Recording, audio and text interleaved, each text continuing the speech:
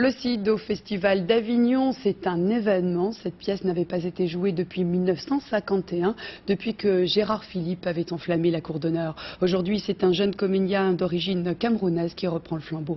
Reportage Dominique Poncé, Jean-Marc Lallier.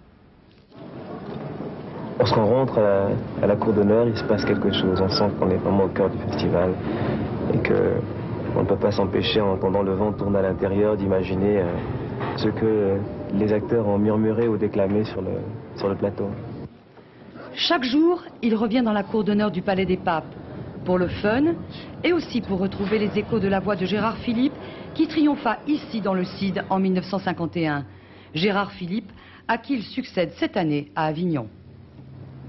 On ne peut pas ne pas penser à lui parce que euh, la première fois que j'ai eu le CID dans, le petit bouquin, euh, la référence était faite immédiatement. Lorsque j'étais à l'école, immédiatement c'était Gérard Philippe. Euh.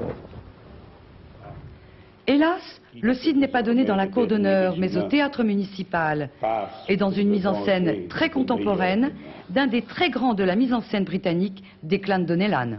Rodrigue, as-tu du cœur?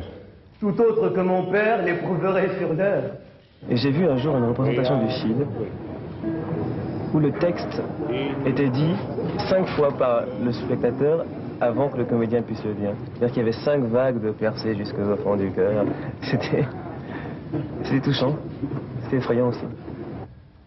Et pour t'offrir mon sang, qu'en ce lieu tu me vois, j'ai fait ce que j'ai dû. Je fais ce que je dois. Le héros l'est souvent malgré lui. Donc le héros est souvent anti-héros. Et je pense qu'on est un peu allé dans cette direction-là.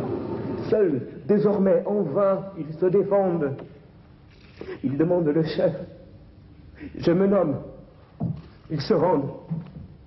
Et le combat, c'est ça. Faute de combattants.